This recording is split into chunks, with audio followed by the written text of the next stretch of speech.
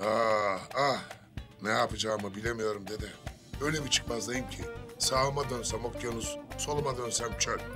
Derin sularda mı boğulsam, kavurucu ateşte mi yansam bilemedim. Aa, Hakkı, Hakkı, Hakkı. Senin durumun bizim oğlandan da fenamış yahu. Hı? Anlat bakalım şu meseleyi önce. Ah mesele büyük dede. Kaldım iki aşk arasında. Çıkış yolunu bulamıyorum bir türlü. Kızlar ikiniz de çok tatlısınız, çok güzelsiniz. Ama bilmiyorum, çok kararsız durumdayım şu an. Yaralıyım anlıyor musunuz? Ne diyorsun sen be?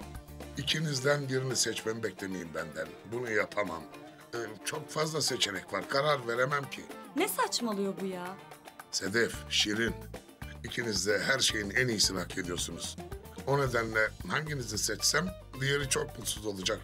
Bana böyle bir sorumluluk yüklemeyin ve aranızda anlaşıp bir karar verin. Of bana fenalık geldi artık. Ne işimiz var bizim burada ya? Ben de bu yastığı daha fazla çekemeyeceğim. Çiçeklerim solacak vallahi. Yastık değilim. Kırlentim ben, kırlent. Yani şimdi vazolardan biri Şirin, öteki de Sedef mi? Evet, Ve sen hangisini seçeceğine karar veremiyorsun. aynen öyle dedi. Kimseyi kendimden mahrum etmek istemem. Bu kötülüğü o kızlara yapamam. Ya hadi git işine. Git mi git. Ya Ben de ciddi bir meselem var diye burada oturmuş seni dinliyorum bu.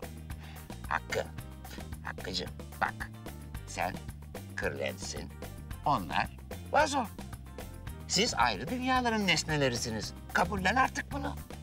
Ha, bu mu yani senin aksakallı dedeliğin? Bu mu senin yardım etme anlayışın? Mecnun'un halinden ibret alıp hiç gelmemem lazımdı zaten.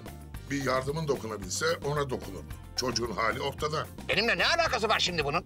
Mecnun kendi kendinin başına... Tamam dede, tamam. Duyacağımı duydum, alacağımı aldım ben. Uyandır beni de eve döneyim. Nasıl da sıcakmış buralar böyle ya. Of kılıfım sırılsıklam oldu vallahi.